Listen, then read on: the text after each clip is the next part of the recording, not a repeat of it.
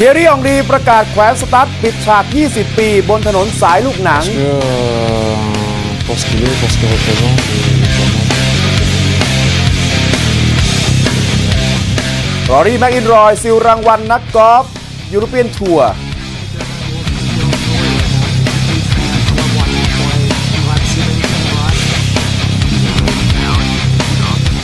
โค้ชซิโก้เตรียมรับมือมาเลเซียแม้ถูกสอดแนม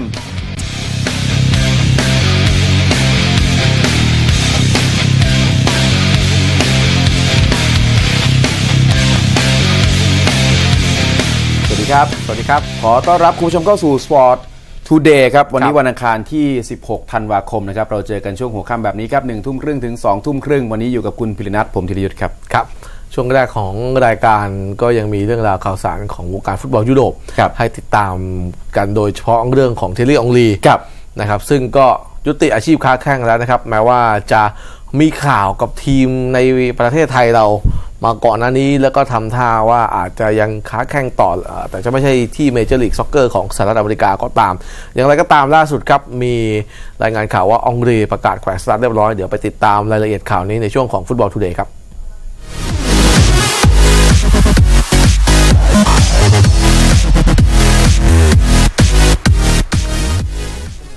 ยรี่องลีตำนานกองหน้าทีมชาติฝรั่งเศสก็ประกาศแขวนสตั๊ดแล้วครับ หลังจากค้าแข้งมานาน 20 ปีครับ องลีซึ่งเป็นอดีตดาวยิงของอาร์เซนอลประกาศแขวนสตั๊ดในวัย 37 ปี แล้วก็เปิดเผยเรื่องนี้บนแฟนเพจของเขาครับองลีนั้นอยู่ในทีมชาติฝรั่งเศสชุดแชมป์โลกปี 1998 แล้วก็แชมป์ยูโรปี 2000 ครับ แล้วก็เคยคว้าแชมป์ลีกเอิร์นของฝรั่งเศสกับโมนาโก ก็ย้ายมาอยู่กับอาร์เซนอลก็ช่วยให้อาร์เซนอลได้แชมป์พรีเมียร์ลีกนะครับไปอยู่กับบาร์เซโลนาก็ได้แชมป์ลาลิก้ารวมถึงสมัยที่อยู่กับอาร์เซนอลก็เคยได้แชมป์ FA ครับด้วยเช่นกันครับ ในช่วงปลายอาชีพการค้าแข่งอองรีก็ย้ายไปเล่นในเมเจอร์ลีกซ็อกเกอร์ของสหรัฐอเมริกากับนิวยอร์กเรดบูลตั้งแต่ปี 2010 แล้วก็คว้าพาทีมคว้าแชมป์คอนเฟอเรนซ์ฝั่งตะวันออก 2 สมัยครับอองรีกล่าวว่าหลังจาก 20 ปีบนถนนลูกหนังเขาตัดสินใจขอแขวนสตั๊ดครับ นับว่าเป็นการเดินทางที่ยอดเยี่ยมมากครับ เมื่อ 20 ปีจนถึงวันนี้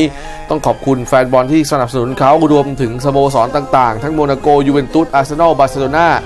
นิวยอร์กเรดบูล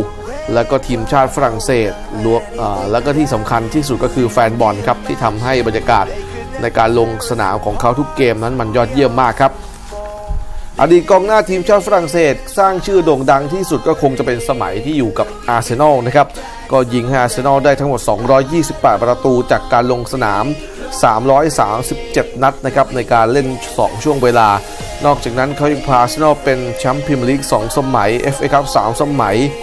จนถึงปี 2007 เนี่ย เมื่อย้ายไปอยู่กับบาร์เซโลนาแม้ว่าอาจจะ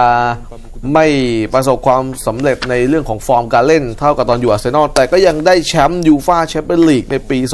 2009 แล้วก็เป็นแชมป์ลาลิก้า 2 สมัยนะครับ ได้แชมป์โกปาเดลเรย์ ซูเปอร์โกปาเดเลยูฟาซูเปอร์คัพแล้วก็แชมป์สโมสรโลกอีกอย่างหนึ่ง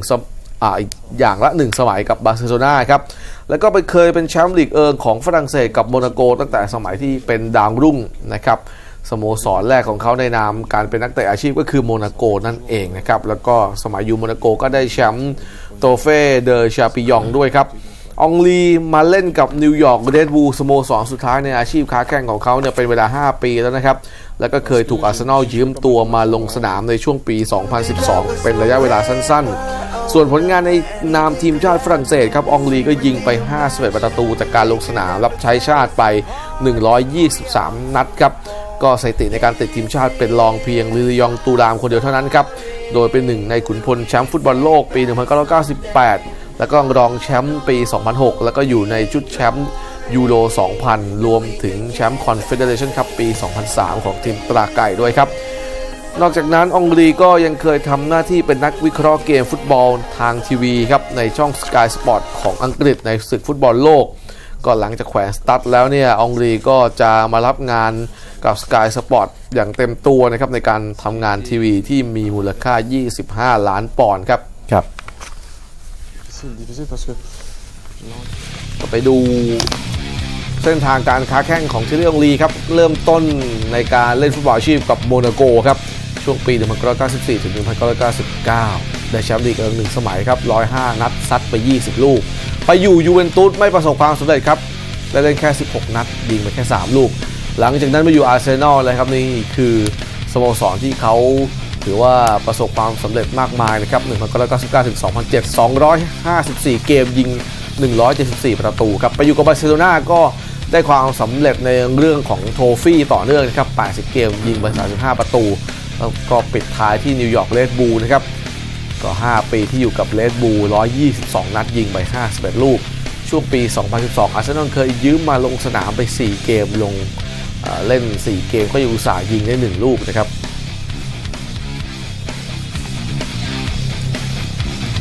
จากเรื่องของทีรีองลีครับในรอบวันที่ผ่านมาก็มีข่าวใหญ่ ๆ ในวงการฟุตบอลมาพร้อม ๆ กันหลายเรื่องเลยนะครับ อีกเรื่องหนึ่งนั่นก็คือเรื่องของคดีการล้มบอลครับก็มีการเปิดเผยข่าวออกมานะครับ เรื่องของคดีการล้มบอลนะครับจากหน่วยงานต้านคอร์รัปชันของสเปนครับปรากฏว่ามีนักเตะดัง ๆ เกี่ยวข้องกับคดีนี้เยอะเลยครับไม่ว่าจะเป็นอันเดเรล่ากาบี้แล้วก็ ฮาเวียร์ อากีร์เร่เทรนเนอร์ของทีมชาติญี่ปุ่นปัจจุบันนี้ด้วยครับ ในเรื่องของคดีล้มบอลในลาลิก้าครับจากการเปิดเผยออกมาก็มีรายชื่อนักเตะรวมถึงเทรนเนอร์ ทีมงานต่างๆ ที่เกี่ยวข้องทั้งสิ้นอีกราวๆ 38 ราย ต่อจากอันเดเรรากาบี้แล้วก็ฮาเวียร์ อากีร์เร่เทรนเนอร์ของทีมชาติญี่ปุ่นนะครับก็ตกเป็น ตกเป็นที่สงสัยนะครับว่ามีส่วนพัวพันในการล็อกผลการแข่งขันลาลิก้านัดส่งท้ายฤดูกาล 2010 ถึง 2011 เมื่อวันจันทร์ที่ผ่านมาครับหน่วยงานต้านคอร์รัปชันของสเปนครับเป็นฝ่ายโจทยื่นเรื่องขออนุญาตศาลเมืองบาเลนเซียเข้าตรวจสอบเกมที่เรอัลซาราโกซาชนะเลบันเต้2ต่อ 1นัดสุดท้ายของฤดูกาล 2010 ถึง 2011 ครับ ซึ่งเกมนี้เนี่ยส่งผลให้ซาราโกซารอดพ้นการตกชั้นนะครับ ช่วงเวลาดังกล่าวครับฮาวิอากิเร่ซึ่งปัจจุบันเนี่ยเป็นกุนซือทีมชาติญี่ปุ่นครับเขาคุมทีมซาราโกซาขณะที่อันเดรเอเรราและกาบี้ก็เล่นอยู่ในชุดดังกล่าวด้วย ซึ่งปัจจุบันทั้งคู่ย้ายมาเล่นให้กับแมนเชสเตอร์ยูไนเต็ดแล้วก็อัตเลติโกมาดริดตามลำดับนะครับ โดยในเรื่องนี้อากาปิโตไอเกียเซียสประธานของซาราโกซาจะกลายเป็นจำเลยผู้ถูกกล่าวหา พร้อมกับนักเตะทั้ง 2 ทีมในเกมดังกล่าวครับ ซึ่งหลังจากศาลได้ออกคำสั่งให้ตรวจสอบพิรุธของเกม หลังจากพบว่าผู้เล่นของเลบันเต้รับเงินมากถึง 9 6 5 0 0 0 ยูโรครับเพื่อทำให้ทีมแพ้ฝ่ายอัยการระบุว่าซาราโกซาได้โอนเงินให้กับนักเตะของทีมรวมถึงเจ้าหน้าที่ ซึ่งก็รวมถึงอากิเร่ เอเรร่า และกาบี้ครับ จากนั้นเบิกเงินสดก่อนที่จะจ่ายให้กับผู้เล่นเลบันเต้ครับ การล้มบอลส่วนใหญ่มักจะเกิดขึ้นในช่วงท้ายฤดูกาลครับเพื่อหนีตกชั้น ซึ่งเป็นสิ่งที่ฟุตบอลสเปนนั้นต่อต้านมานานครับ ก่อนหน้า ซึ่งก่อนหน้าออกุสโตเชซ่าครับประธานของลาโคลนยาที่ตกชั้นลงไปเมื่อปี 2010 2011 ได้ออกมาแฉนะครับว่าเกมสุดท้ายของลาลิก้าฤดูกาลนี้ มีการจ่ายบอลเพื่ออจ่ายเงินเพื่อล้มบอลกันอย่างมากมายครับ เรื่องนี้เคยเป็นประเด็นมาเมื่อเดือนกุมภาพันธ์ปีที่แล้วครับ หลังจากที่มีการตรวจพบว่าหลายเกม ทั้งในระดับสโมสร และทีมชาติมีการล็อกผล สอดคล้องกับผลประโยชน์เรื่องของการพนันที่ส่งตรงมาจากสิงคโปร์ครับ อย่างไรก็ตามคดีนี้อยู่ในระหว่างการตรวจสอบของศาลเพื่อที่จะวินิจฉัยว่าควรจะนำขึ้นสู่การพิจารณาคดีตามที่อัยการร้องขอหรือไม่ครับนี่เป็นเรื่องใหญ่เลยนะครับเพราะว่าพัวพันกับ นักเตะดังๆ ในปัจจุบันมากมายครับ eh, distancia material para que el balón baje si disparas fuerte y solo hay que จากลาลิก้าต่อกันที่ฟุตบอลกัลโช่เซเรียอาอิตาลีครับ อันเดรียปิโลคว้างรางวัลใหญ่ในงานแกรนกาล่าเดลกันโชครับ งานประกาศรางวัลนักเตะยอดเยี่ยมแห่งปีของลีกอิตาลีนะครับ แต่งานนี้ก็ถูกบอยคอรดจากทีมนาโปลีที่ไม่อนุญาตให้ผู้ที่มีส่วนเกี่ยวข้อง กับสโมสรเนี่ยมาร่วมงานดังกล่าวครับ งานแกนกาล่าเดลกันโชนี้ก็จัดขึ้นโดยสหพันธ์นักฟุตบอลอาชีพนะครับมีการโหวตรางวัลยอดเยี่ยมในสาขาต่างๆ ประจำปี 2014 เริ่มจากทีมยอดเยี่ยมแห่งปีก็เป็นของยูเวนตุสครับทีมแชมป์เซเรียอาในฤดูกาลที่ผ่านมา นอกจากนั้นจานลุยจิบุฟฟอน ควัดโวอาซาโมอา อันเดรียบาซายีปอลป็อกบา อันเดรียปิโล อาตูโรวิดาแล้วก็คาร์ลอฟเตเวสยังมีชื่ออยู่ใน 11 นักเตะยอดเยี่ยมแห่งปีด้วยครับ ส่วนตัวของปีโลก็ยังมาได้รางวัลใหญ่ก็คือรางวัลนักเตะยอดเยี่ยมแห่งปี หลังจากโชว์ฟอร์มได้อย่างยอดเยี่ยมกับยูเวนตุสซึ่งเป็นทีมยอดเยี่ยมแห่งปีเช่นเดียวกันนะครับทางด้านกอนซาโลอีกัวอินครับกองหน้าจากนาโปลีเนี่ยได้รับรางวัลกองหน้าตัวเป้ายอดเยี่ยม แต่ว่าไม่มาร่วมงานนี้แต่อย่างใด เนื่องจากออเรลิโอเดลอเรนติสประธานสโมสรนาโปลี ไม่อนุญาตให้นักเตะและทีมงานของสโมสรมาร่วมงานนี้นะครับ นอกจากนั้นยังมีรางวัลอื่น ๆ เช่นชิโร่อิโมบิเล่ครับ อดีตกองหน้าของโตริโนซึ่งปัจจุบันย้ายไปอยู่กับโบรุสเซียดอร์ทมุนด์ก็คว้ารางวัลกองหน้าฝั่งขวายอดเยี่ยมครับมาเตโอดาเมียนแบ็กของโตริโนได้รางวัลแบ็กขวายอดเยี่ยม เมดี้เบนาเตียครับกองหลังของโรม่าที่ปัจจุบันไปอยู่กับไบ a ยนมิวนิกก็ได้ตำแหน่ง centre half ยอดเยี่ยม ขณะที่โค้ชยอดเยี่ยมเป็นของอันโตนิโอคอนเต้นายใหญ่ของทีมชาติอิตาลี คนปัจจุบันกับผลงานในการพาทีมยูเวนตุสคว้าสกูเดโตเป็นปีที่ 3 ติดต่อกันเมื่อฤดูกาลที่ผ่านมาครับ ยังอยู่กันที่ฝั่งของกัลโช่เซเรียอาครับ ไปที่เรื่องของเฟอร์นันโดตอเรสกันบ้างครับ ก็มีข่าวหนาหูว่าทีมในพรีเมียร์ลีกโดยเฉพาะลิเวอร์พูลเนี่ยนะครับ ต้องการที่จะดึงตัวตอเรสกลับสู่ทีมนะครับ ล่าสุดเอซีมิลานยืนยันว่าเฟอร์นันโดตอเรสจะยังคงอยู่ต่อต่อกับทีมอย่างแน่นอนครับท่ามกลางข่าวลือว่าทีมในพรีเมียร์ลีกนั้นสนใจอยากจะได้ตัวเขาไปในช่วงตลาดเดือนมกราคมที่จะถึงนี้ครับตอเรสในวัย 30 ปีย้ายมาอยู่กับมิลานแบบยืมตัว 2 ฤดูกาลครับเขายังไม่สามารถเรียกฟอร์มเดิมเหมือนเมื่อครั้งเล่นให้กับอ t เลติโกมาดริดหรือว่าลิเวอร์พูลได้เลย กองหน้าทีมชาติสเปนครับยิงได้เพียง1ประตูจาก 10 เกมที่ลงสนามให้กับรอสโซเนรีและไม่ได้ลงสนามให้กับทีมเลยใน3เกมที่ผ่านมาครับทำให้มีข่าวลือหนาหูว่าเอซีมิลานอาจจะปล่อยตัวเขาออกไปจากทีมในช่วงเปิดตลาดเดือนมกราคมครับ อาเดรียโน กัลลิอานี่ครับ ผู้บริหารของเอซีมิลานได้กล่าวถึงข่าวนี้ว่าเขาไม่คิดว่าตอเรสจะย้ายออกไป ถึงแม้จะมีความไม่แน่นอนนักในตลาดซื้อขายนักเตะก็ตาม เขาแค่โชคร้ายครับที่ได้รับบาดเจ็บ และยังต้องปรับตัวให้เข้ากับลีกใหม่อีก ยืนยันว่าตอเรสยังคงเป็นนักเตะคนสำคัญของทีมครับ และจะกลับคืนสู่ฟอร์มเดิมได้อย่างแน่นอน ก่อนหน้านี้ลิเวอร์พูลอดีตทีมเก่าของตอเรส ตกเป็นข่าวว่าต้องการได้ตัวนักเตะกลับไปเล่นให้กับทีมอีกครั้ง หลังจากเคยขายตอเรสให้กับเชลซีในเดือนมกราคมปี 2011 ด้วยค่าตัว 50 ล้านปอนด์ครับตอเรสเคยลงสนามให้กับลิเวอร์พูลไป 142 นัดยิงไป 81 ประตูนะครับ ตลอดระยะเวลา 3 ปีครึ่งในทีมแอนฟิลด์ ดูผลกัลโช่เอ่อเซเรียอาซะหน่อยครับ เกม Monday Night เมื่อคืนมี 2 คู่นะครับคีเอโวก็แพ้อินเตอร์ไป 0-2 ส่วนเอมโปลีเสมอกับโตริโน 0-0 ครับ ตารางคะแนนนะครับของกัลโช่เซเรียอาครับยูเวนตุสกับโรม่าเบียดกันอยู่นะครับ 36 แต้มกับ 35 แต้มครับ อันดับ 3 เป็นลาซิโอ 4 ซามพ์โดเรีย 5 เป็นเจนัว ส่วนอินเตอร์ก็ขยับมาอยู่อันดับ 11 แล้วนะครับมี20 แต้ม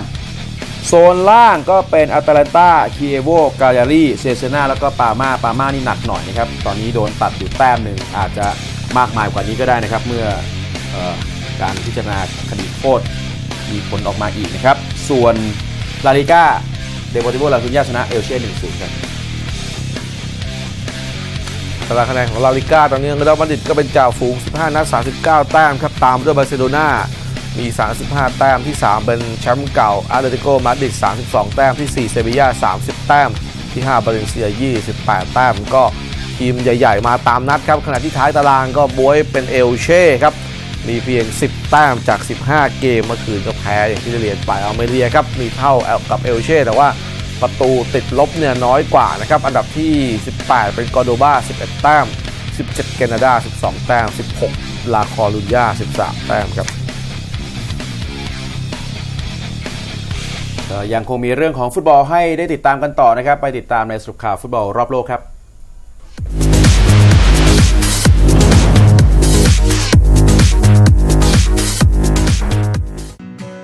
อันโตนิโอคอนเต้จะเข้าประชุมกับบรรดาเทรนเนอร์ของทีมในกัลโช่เซเรียอา 20 สโมสรในวันนี้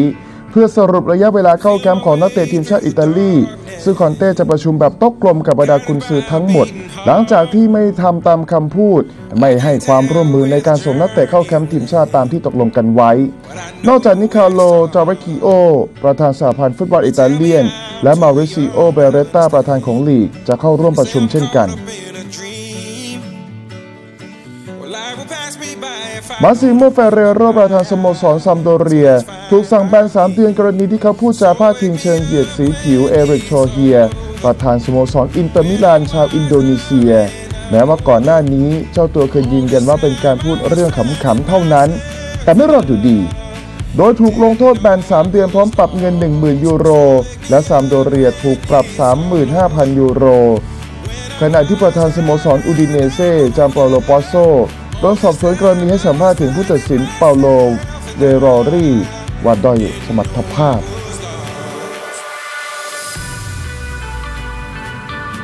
ฮาเวียร์อากีร์เร่เทรนเนอร์ทีมชาติญี่ปุ่นประกาศ 23 ขุนพลล่าแชมป์เอเชียนคัพสมัยที่ 5 ระหว่างวันที่ 9 ถึง 31 มกราคม ปี 2015 ที่ออสเตรเลียเป็นที่เรียบร้อย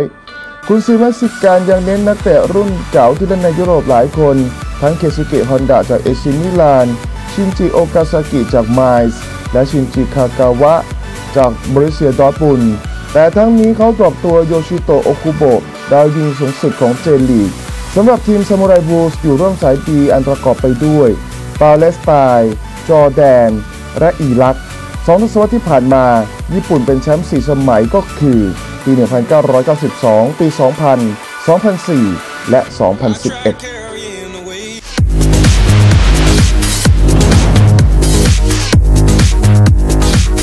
ผู้ชมครับในช่วงแรกเราคุยกันเรื่องของฟุตบอลไปนะครับเดี๋ยวเราพักกันครู่เดียวครับช่วงหน้ากลับมาติดตามข่าวอื่นๆกันบ้างครับ มีข่าวคราวของรอรี่แม็กอินรอยครับล่าสุดเจ้าตัวคว้ารางวัล European Tour of the Year ครับ